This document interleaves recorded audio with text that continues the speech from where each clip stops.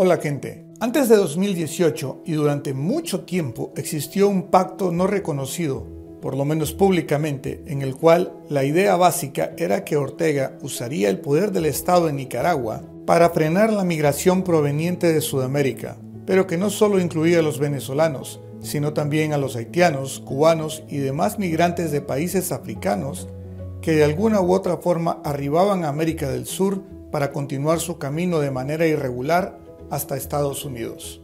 A cambio de servirle como guardia fronteriza a sus vecinos del norte, a Ortega lo dejaban hacer prácticamente lo que quisiera a lo interno de Nicaragua. Un trato cínico y nefasto para los nicas y los mismos migrantes, pero razonable, entre comillas, para los fanáticos de esa indolente excusa para barbaridades que pasa por el apodo de Realpolitik.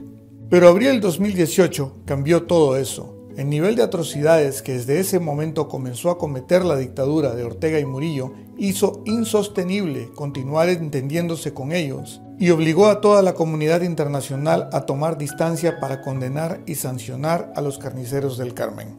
A raíz de eso, Ortega, Murillo y ese andamiaje criminal llamado FSLN recalibraron su política migratoria para matar varios pájaros de un tiro la necesidad de recuperar plata que perdieron por asesinos, convirtiéndose ahora en coyotes, la venganza hacia los países a quienes ve como enemigos por exigir libertad y democracia, mandándoles más migrantes con la idea de que esto les cause una crisis interna a ellos, y la utilización del chantaje, como era de esperarse de una organización terrorista como el EPSLN, utilizando la presión de la migración como un AK-47 en la mesa de negociación política. Es decir, Vos me dejás seguir matando, robando, secuestrando, torturando y desterrando, y a cambio yo te cierro de nuevo la llave de la migración irregular, o de lo contrario, te ataco con ella, potenciándola.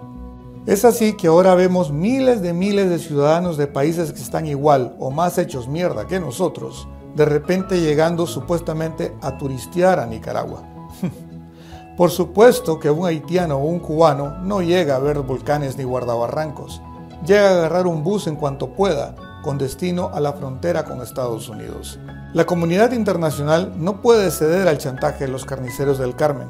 Tampoco puede seguir permitiendo la burda explotación de migrantes a la que se dedica Ortega.